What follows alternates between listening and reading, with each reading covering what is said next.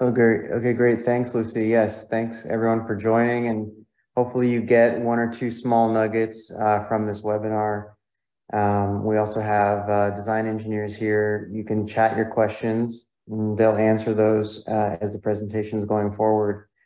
Um, and I know there's a lot of people with a lot of experience out there. So uh, if you have a specific application, please ask and hopefully you can go away with one or two nuggets uh, from this webinar. So uh, yeah, so uh, I think you can go to uh, slide six, Lucy.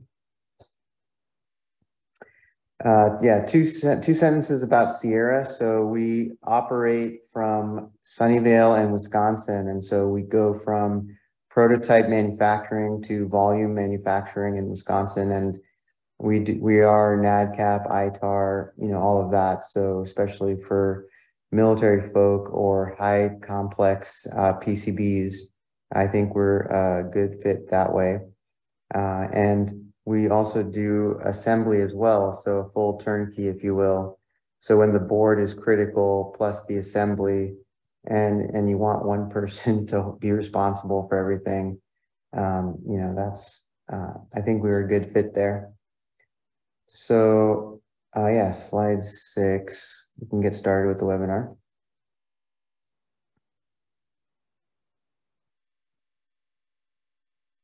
So really for uh, operating uh, voltages and applications for high voltage PCBs, anything that's higher than a hundred, about 100 volts, we would consider as uh, an, an HV design.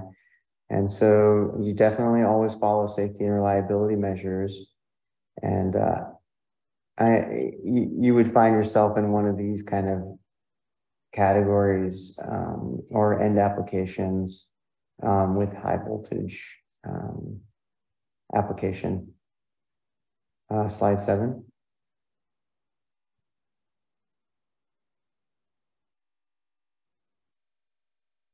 So some of the design challenges, um, you know, the direct arc over or the corona uh, can can occur, and a direct arc over occurs suddenly when the voltage potential between the two conductors exceeds the ionization value of the insulator between them.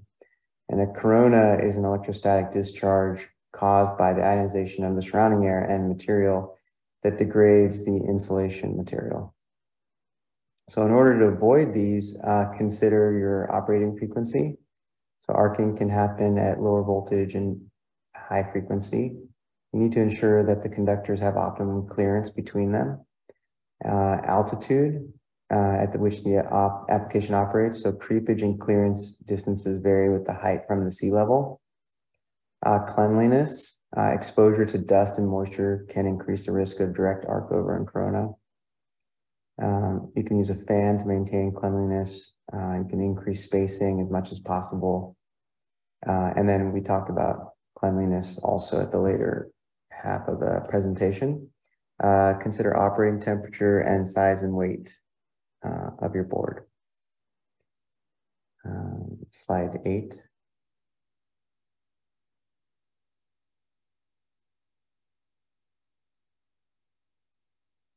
So these are the regulatory standards for high voltage designs. The two most important standards are the IPC 2221B, um, which includes uh, um, some details in the IEC UL 6950 second edition.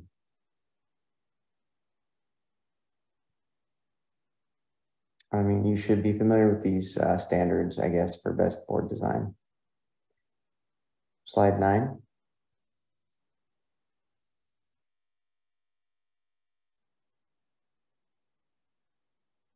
So importance of the comparative tracking index. It's the one of the most important parameters to consider when choosing the materials for your high voltage designs. It's the voltage at which the PCB substrate begins to break down. Uh, so above the CTI, the material begins to carbonize and becomes more conductive. Uh, this increases leakage current and accelerates the breakdown uh, over time. So the table shows um, the material groups for the CTI levels. And if the operating voltage of your design is greater than 600 volts, you need to choose a material that falls under CTI zero group.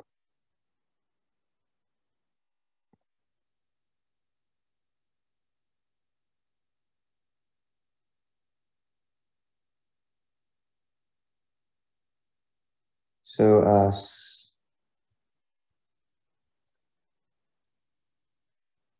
apart from the CTI, here are the other selection parameters that you need to consider. So high resin uh, prepregs for inner layers.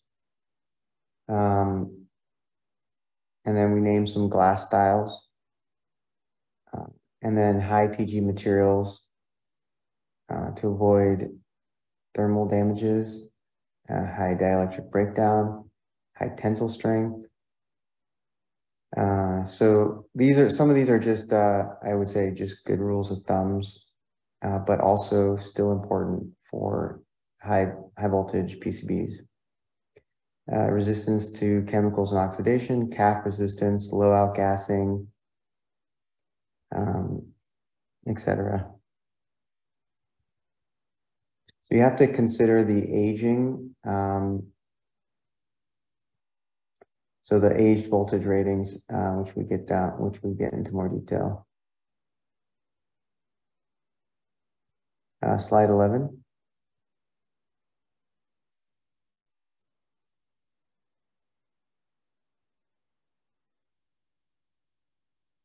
Uh, so for material selection of HEV PCBs, uh, small glass weave allows for high resin penetration. It prevents the microbubbles, improves density in the multilayers, uh, ensures a void-free uh, lamination, and it inhibits the corona effect.